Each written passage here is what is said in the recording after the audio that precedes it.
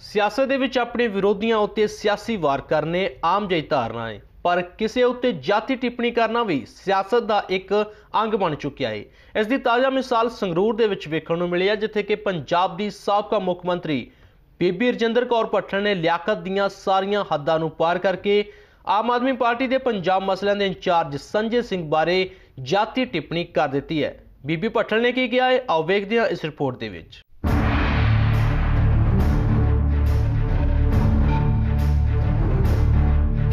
ਸਿਆਸਤ ਵਿੱਚ ਵਿਰੋਧ ਤੁਸੀਂ ਹਰ ਥਾਂ ਵੇਖਿਆ ਹੋਵੇਗਾ। ਵਿਰੋਧੀਆਂ ਨੂੰ ਹੇਠੀ ਵਿਖਾਉਣ ਲਈ ਸਿਆਸੀ ਲੀਡਰ ਬਿਆਨਬਾਜ਼ੀ ਕਰਦੇ ਵੀ ਵੇਖੇ ਹੋਣਗੇ, ਪਰ ਅਜਿਹਾ ਘੱਟ ਹੀ ਹੁੰਦਾ ਏ ਕਿ ਲੀਡਰ ਆਪਣੇ ਵਿਰੋਧੀਆਂ ਉੱਤੇ ਬਿਆਨ ਦੇਣ ਲੱਗਿਆਂ ਲਿਆਕਤ ਅਤੇ ਤਹਿਜ਼ੀਬ ਨੂੰ ਛਿੱਕੇ ਟੰਗ ਦੇਣ। ਸੰਗਰੂਰ ਵਿੱਚ ਬੀਬੀ ਰਜਿੰਦਰ ਕੌਰ ਪੱਠਲ ਨੇ ਬਿਆਨ ਦੇਣ ਲੱਗਿਆਂ ਅੱਗਾ ਪਿੱਛਾ ਨਾ ਵੇਖਦਿਆਂ ਹੋਇਆਂ ਆਮ ਆਦਮੀ ਪਾਰਟੀ ਦੇ ਪੰਜਾਬ ਮਸਲਿਆਂ ਦੇ ਇੰਚਾਰਜ ਸੰਜੇ ਸਿੰਘ ਬਾਰੇ ਵਿਵਾਦ ਖੜਾ ਕਰਨ ਵਾਲਾ ਬਿਆਨ ਦੇ ਦਿੱਤਾ। ਇਹ ਸਾਡੀਆਂ ਵਿਰੋਧੀ ਪਾਰਟੀਆਂ ਕਰਦੀਆਂ ਡਰਾਮੇ, ਚਾਹੇ ਉਹ ਅਕਾਲੀ ਦਲ ਦੀ ਪਾਰਟੀ ਹੈ, ਚਾਹੇ ਉਹ ਕੇਜਰੀਵਾਲ ਦੀ ਪਾਰਟੀ ਹੈ। ਮੈਂ ਤੁਹਾਨੂੰ ਪਾਰਟੀ ਕਹਿੰਦੀ ਨਹੀਂ ਹੁੰਦੀ, ਕੇਜਰੀਵਾਲ ਐਂਡ ਕੰਪਨੀ ਕਹਿੰਦੀ ਹੁੰਦੀ ਆ ਉਹ ਜਿਹੜਾ ਹੈਗਾ, ਉਹ ਇੱਥੇ ਕੁਝ ਬੋਲਦਾ ਹੈ। ਆਂਡੇ ਕਿਤੇ, ਕੁੜਕੁੜ ਕਿਤੇ, ਜੇ ਪੰਜਾਬ ਚ ਆ ਗਿਆ ਪੰਜਾਬ ਨੂੰ ਪਾਣੀ, ਹਰਿਆਣੇ ਚ ਜਦ ਲੰਘਦਾ ਹਰਿਆਣੇ ਨੂੰ ਪਾਣੀ, ਦਿੱਲੀ ਚ ਪਹੁੰਚ ਗਿਆ, ਦਿੱਲੀ ਨੂੰ ਪਾਣੀ। ਉਹ ਤਾਂ ਗਿੜਕੜ ਦੀ ਤਰ੍ਹਾਂ ਰੰਗ ਬਦਲਦਾ ਉਹ ਤਾਂ ਕੋਈ ਸਟੈਂਡ ਹੀ ਨਹੀਂ। ਉਹਦੀ ਆਪਦੀ ਪਾਰਟੀ ਪਾਰਟੀ ਹੋਈ ਹੈ ਉਹਦੀ ਆਪਦੀ ਜਿਹੜੀ ਉੱਪਰ ਹਾਈ ਕਮਾਂਡ ਸੀ ਉਹ ਤੋਂ ਬਾਗੀ ਹੋ ਗਈ ਐਮਪੀ ਉਹਦੇ ਬਾਗੀ ਹੋ ਗਏ ਨੇ। ਕਿਉਂ ਨਹੀਂ ਉਹ ਆਪਣਾ ਸਾਡੀ ਤਾਂ ਪਾਰਟੀ ਨੈਸ਼ਨਲ ਪਾਰਟੀ ਸਾਡਾ ਇੱਕ ਦਸਤੂਰ ਹੈ ਅੱਜ ਦਾ ਨਹੀਂ, ਕਿ ਅਸੀਂ ਉਸ ਤੋਂ ਬਾਅਦ ਦਸਤੂਰ ਅਨਾਉਂਸ ਕਰਦੇ ਸੀ। ਇਹ ਕਿਉਂ ਨਹੀਂ ਕਰਦਾ? ਪੰਜਾਬ ਦੇ ਕੋਲ ਚਿਹਰਾ ਹੈ ਨਹੀਂ ਇਸ ਕੋਲੇ। ਅੱਜ ਪੰਜਾਬ ਦੀ ਧਰਤੀ ਉੱਤੇ, ਪੰਜਾਬੀਆਂ ਦੀ ਅਣਖ ਵਾਲੀ, ਸਾਡੀ ਸ਼ਾਨ ਵਾਲੀ ਧਰਤੀ ਉੱਤੇ, ਇਹਨੂੰ ਅਸੀਂ ਲਿਆ ਕੇ ਦਿੱਲੀ ਵਾਲੇ ਜਾਂ ਉੱਤੇ ਯੂਪੀ ਵਾਲਾ ਫਿਰਦਾ ਖੁਰ ਸੰਜੇ ਕੁਮਾਰ, ਇਹਨਾਂ ਨੂੰ ਯੂਪੀ ਦੇ ਨੂੰ ਬਾੜਾਂਗੇ ਇੱਥੇ ਅਸੀਂ, ਪੰਜਾਬ ਤੇ ਰਾਜ ਕਰਨ ਲਈ। ਇਸੇ ਮੌਕੇ ਤੇ ਬੀਬੀ ਭੱਠਲ ਨੇ ਪੰਜਾਬ ਦੇ ਵਿੱਚ ਕਾਂਗਰਸ ਵੱਲੋਂ ਕਾਂਗਰਸ ਦੀ ਪੁਰਾਣੀ ਰਵਾਇਤ ਦੇ ਹਵਾਲੇ ਦੇ ਨਾਲ ਮੁੱਖ ਮੰਤਰੀ ਦੇ ਚਿਹਰੇ ਦਾ ਐਲਾਨ ਚੋਣਾਂ ਤੋਂ ਬਾਅਦ ਹੀ ਕਰਨ ਦੀ ਗੱਲ ਆਖੀ ਹੈ। ਨਹੀਂ, ਇਹ ਕੋਈ ਜ਼ਰੂਰੀ ਨਹੀਂ। ਕਾਂਗਰਸ ਨੇ ਕਦੇ ਵੀ ਨਹੀਂ ਕੀਤਾ। ਕਿਤੇ ਇੱਕ ਤਾਂ ਇੱਕ ਅੱਧੀ ਵਾਰੀ ਜਾਂ ਪਿਛਲੀ ਵਾਰੀ ਹੋਇਆ ਹੋਇਆ।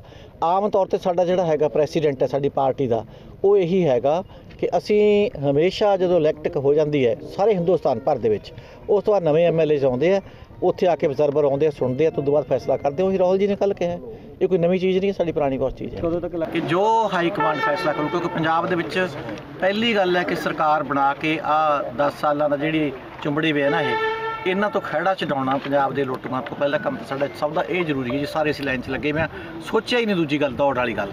ਨੰਬਰ 1 ਨੰਬਰ 2 ਜਿਹੜਾ ਪੰਜਾਬ ਚਲਾਉਣਾ ਹੈ, ਜਿੱਤਣ ਤੋਂ ਬਾਅਦ, ਉਹ ਇਸ ਤੋਂ ਵੀ ਡਿਫਿਕਲਟ ਜੋ ਇਹਨਾਂ ਨੇ ਬਰਬਾਦ ਕੀਤਾ ਆਰਥਿਕ ਤੌਰ ਤੇ, ਸਾਡੀ ਇਕਨੋਮੀ ਲਟਾਈ ਹੈ।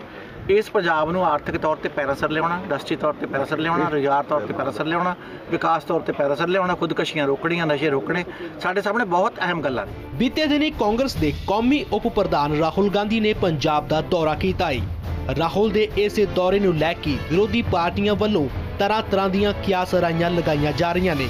ਪਰ ਬੀਬੀ ਭੱਠਲ ਨੇ ਸਾਫ਼ ਕੀਤਾ ਹੈ ਕਿ ਪਾਰਟੀ ਹਾਈ ਕਮਾਨ ਜ਼ਮੀਨੀ ਹਕੀਕਤਾਂ ਤੋਂ ਜਾਣੂ ਹੋਣਾ ਚਾਹੁੰਦੀ ਹੈ ਤੇ ਰਾਹੁਲ ਗਾਂਧੀ ਦਾ ਪੰਜਾਬ ਦੌਰਾ ਉਸੇ ਕੜੀ ਦਾ ਹਿੱਸਾ ਹੈ ਰਾਹੁਲ ਗਾਂਧੀ ਜੀ ਆਏ ਨੇ ਕਿਉਂਕਿ ਸਾਡੀ ਜਿਹੜੀ ਪਾਰਟੀ ਦੇ ਲੀਡਰ ਨੇ ਉਹ ਚਾਹੁੰਦੇ ਆ ਕਿ ਅਸੀਂ ਗਰਾਊਂਡ ਰਿਐਲਿਟੀ ਜਾਣੀ ਹੈ।